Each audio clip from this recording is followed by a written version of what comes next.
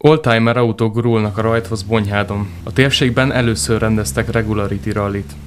Itt nem a gyorsaság a fontos, tehát A-ból nem minél gyorsabban kell odaérni, hanem a speciális szakaszokon, úgymond ott mé,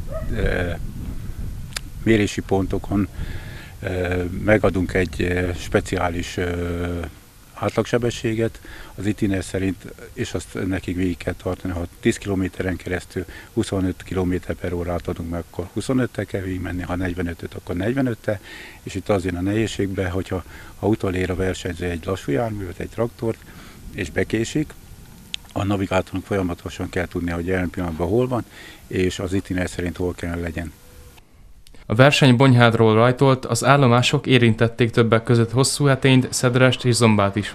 Mivel itt megvan szabva a MAVASZ utasítás vagy a versenykírás alapján évjárathoz vannak kötve a, versenyautók, így lehet besorolva egyszer van négy kategória, évjárathoz, illetve akik nem tartoznak be ebbe a négy kategóriába, tehát 94-nél fiatalabb versenyautóval vesznek részt, azok kapnak egy modern kategóriába indulhattak, illetve akik 2000 fölötti évjárattal indultak, azok meg, tehát modern klub az előző elnézést, akik meg 2000 fölött, az meg modern kategóriában vesztek részt a, a versenyen.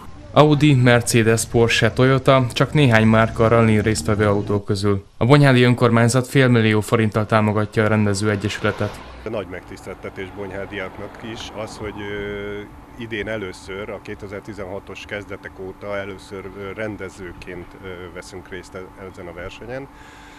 Ez számomra nagyon szimpatikus ez a verseny, távol áll a Forma, Forma 1-nek a benzingőzétől, itt egész más szabályok szerint versenyeznek a versenyzők, ráadásul gyönyörű autókkal, gyönyörű oldtimer autókkal.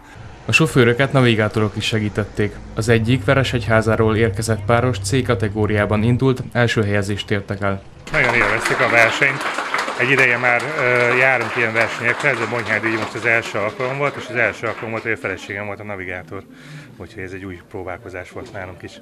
A szervezők úgy vélik, a verseny jól sikerült, az esetleges hibákat a jövő évi második Völtség Historic Rally-ra szeretnék kijavítani. Szalai Imre megköszönte a támogatók segítségét is.